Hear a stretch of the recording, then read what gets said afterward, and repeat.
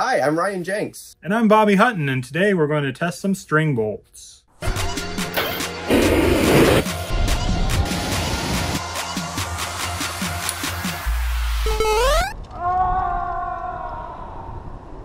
So this is actually not Ryan. He's actually uh, hanging out with his girlfriend. So I decided to sneak into the lab. This is our friend, uh, John Fioroni. Uh, John, introduce yourself and tell us a little bit about your experience. Yeah, so I'm not Ryan. Um, I'm a, a caver, and I've been caving for about 29 years now. During normal times, I get to spend about five weeks underground doing exploration and research. I'm one of the co founders of the Cave Exploration Society, and we have expeditions going on in Cuba, Iran, Turkey, and Kurdistan right now. Perfect. Um, John, you want to tell us a little bit about what we're testing today? Sure. These are soft anchors or AS anchors, if you want the French acronym. They are used primarily for deep caves and expedition caves in Europe. They come with a 5 millimeter Dyneema string. Uh, they're bored for an 8 millimeter bolt, so traditionally used with a spit anchor. To make these worthwhile, it's best to throw out the one meter of cord that comes with them and replace them with uh, about one and a half meters of five millimeter Dyneema. So why would you use that as opposed to like a normal hanger with a quick link? These are a bit lighter and they allow you to place an anchor above a, a sharp edge uh, where the Dyneema can can wrap around the edge and, and, not break. And these allow you to bypass a quick link or a carabiner where you can tie the the cord directly to a figure eight and save a bit of weight. Is this something you use a lot? I use these in in some of our expeditions in Turkey. Uh, they have a little bit of popularity kind of in the, the northwest of the U.S., but they're not used too often over here. So in the, the climbing world, um, if we wanted to do something similar, we would use this. Why don't you just use something like this? It's more about weight savings and saving volume in your cave pack because we're limited on how much we can carry into a cave. So this actually condenses into a much smaller package than a, a hanger and a quick link. And it's probably a third the weight. It is. Yeah, it's much lighter. Traditionally, they're attached to a spit bolt with a 8 millimeter bolt, but because we're not testing the, the spit itself, we've used a, a more traditional uh, threaded bolt uh, onto a block of steel. Uh, just so we can be authentic, what would you normally attach to this soft anchor? So traditionally in caving, we use an oval locking biner, which we have here, uh, but we also have the option of tying the Dyneema directly to a loop on a figure eight if we wanted to. Um, we might try that.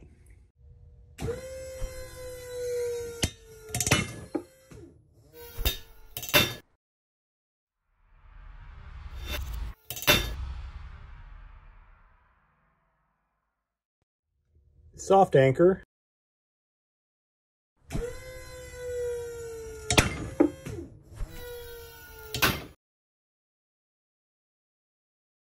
I originally thought that was some scarring on the aluminum, but what do you think it is, John? I think it's just a little bit of Dyneema melted to the aluminum hanger. Oh, totally. All right, John, show us how it's done. So this technique uh, bypasses a carabiner or a quick link where we tied the Dyneema directly to the uh, figure eight on a bite. And you can use this in the middle of the rope. You don't have to have the end of the rope. Correct. So this will technically work, uh, but for a safety, you would loop it over the top like this. And then bolt it to the wall. And and then attach it to the wall, exactly. Would it be easier if this cord was longer?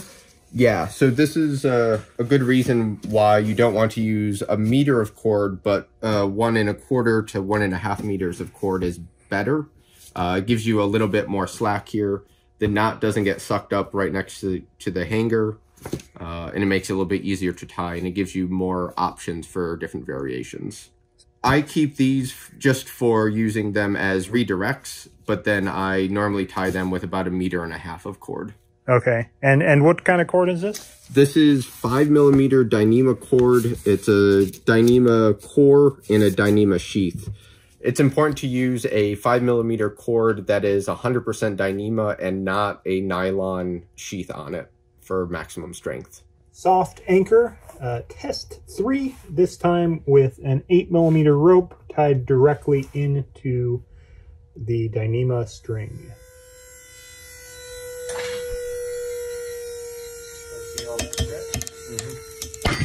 I'm a little surprised that the 8 millimeter broke first, but not surprised that it broke in the knot like every other test that they've done. So those were the climbing technology, uh, caving anchorages, soft anchors. A viewer sent us an alternative. Those of you who have been watching a long time will recognize this as one of Ryan's favorite things. And it looks like it is around a just like aluminum round stock, stock that has been bored out and threaded. So let's see what these break at. So we have it screwed into a bolt. It is threaded, and that's a spacer because this wouldn't thread all the way down, and there's nothing really to grip. Um, if I was designing it, I'd probably remove the threads from this and then just um, screw a nut down on top of it like a traditional hanger. Um, we've got an oval locking carabiner here because my expert says that was the best. John, predictions? I think it's going to break uh, up in the radius here. I'm guessing it's going to break around 25 kilonewtons. And, what was that? Uh, kilonewtons. Oh, okay. Is that the right way to say it? I have no idea. I learned from Ryan.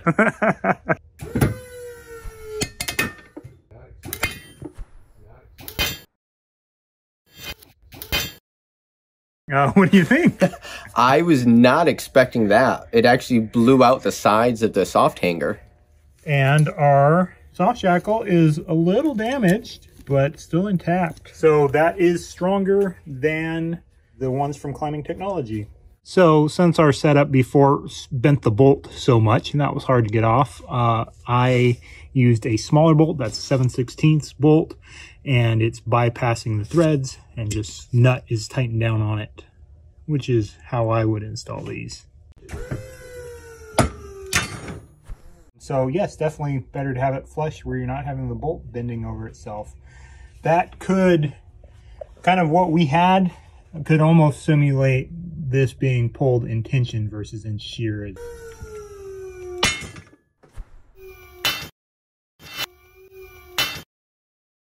So, third test, third type of result.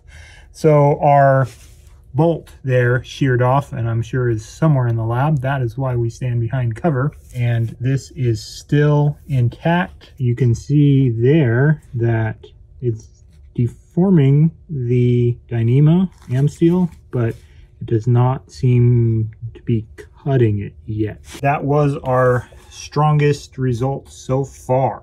Okay, John, what do we have here? All right, so to try to get the actual aluminum hanger to break, we've threaded some 4 millimeter SK99 Max Dyneema cord. Uh, this is supposed to be stronger than the 5 mil, and so hopefully that will break the hanger and not the Dyneema. Larry came to visit, and he's going to give us a prediction on what this breaks um, at. 1350. 1350 pounds. You convert it. Okay. Yeah, I think that sounds about right. It still breaks around the radius of the of the hanger itself, which seems like it makes sense for being the weakest point. Over 50% stronger than it's rated for. Yeah, yeah. It was yeah. it's substantially stronger. There's a pretty good safety margin. So, John, uh, thanks so much for coming down and breaking stuff with us. What did you think of these guys? Are you still going to use them? I'm still going to use them for deep caving. They have no place in kind of the recreational caving area. Uh, they're a specialized hanger and they work well for their intended uses. We learned that they tend to always break around the, the radius, which makes sense because it pinches the Dyneema. This one was sent in by a viewer. It's a homemade soft hanger. It worked very well. There's a few areas to maybe refine. There's some sharp edges on the inside and then the radius uh, maybe could be expanded just a little bit. But the idea of having it on a soft shackle really makes a lot of sense. I think we need to test some cyclical loading on it uh, to make sure it doesn't come undone. But I do think these have a, a place in expedition caving for sure. Bonus tests. I was bummed that I missed John, but it was cool that Bobby and him got to break those cave samples since John's a caver. But I wanted to know what they did in tension, and I had one of each left when I went back to the lab.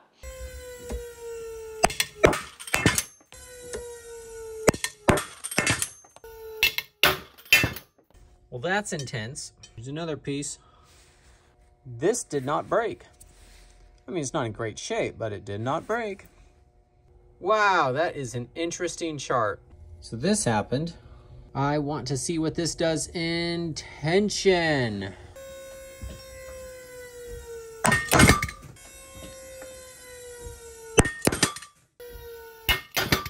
This thing held. I'm impressed. There's some pretty sharp edges against this Dyneema stuff though. And since we're testing some obscure cave anchors, I thought we would grind off the bolt that's on a clown hanger and install it onto our rectangle jib. And then I started with an eight millimeter rope, which broke the rope first because the rope goes around the bolt. And then I stuck half inch rope on there, which is the biggest rope I had to see if it deformed the hanger at all. And it did not and the rope broke first. So then out of sheer curiosity, I clipped a carabiner to the damn thing and it broke pretty low, lower than any other hanger I've ever tested. Granted, you're not supposed to clip a carabiner to that. Now for some reason, I cannot find the footage that has the numbers on there, but I remember it being like 9 or 11 kilonewtons to break the hanger. And then the ropes broke more or less full strength, but it's irrelevant because you're just ascending or descending on those ropes, which is about 1 or 2 kilonewtons. So the clown hanger is pretty creative though. I appreciate my patrons for supporting this nerdy niche content because it's probably not gonna get a ton of views, but I think it helps know what these things break at if you see them in a cave. Head over to hownottoswag.com and don't forget to wipe and subscribe.